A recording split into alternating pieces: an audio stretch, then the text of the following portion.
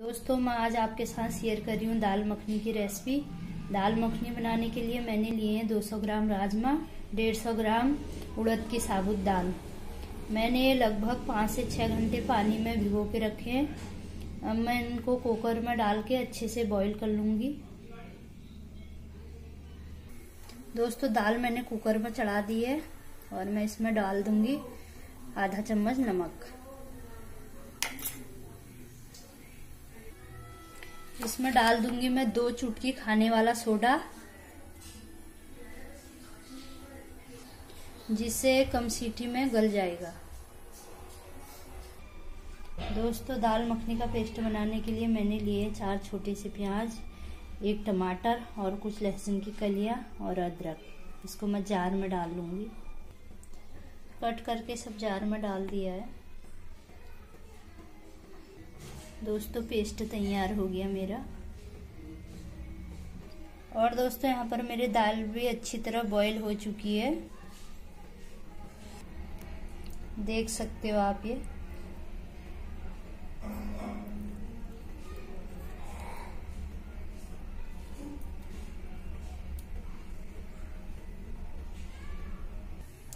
दोस्तों, यहाँ पर मैंने गैस पर रख दी कढ़ाई और कढ़ाई में डाल दिया है तेल।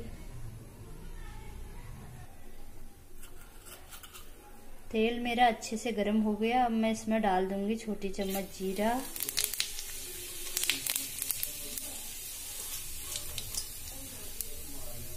और डाल दूँगी तेज पत्ता।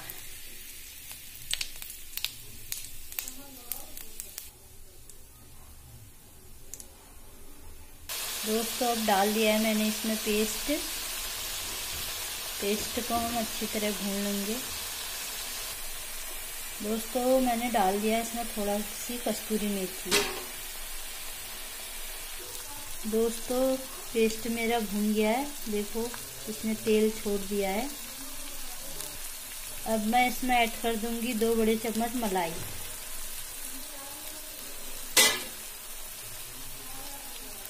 दोस्तों, ये एकदम फ्रेश मलाई है। दोस्तों, अब ऐड करूँगी मैं इसमें कूटी हुई दालचीनी।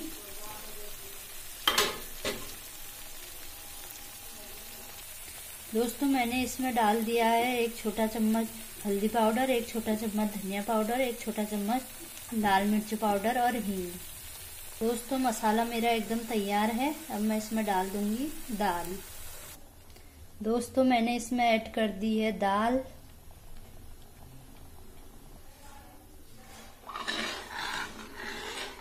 एकदम होटल जैसी रेसिपी बनके तैयार है।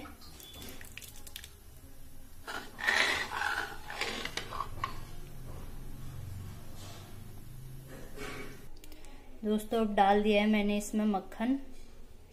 मेरी दाल मखनी एकदम रेडी है बनके।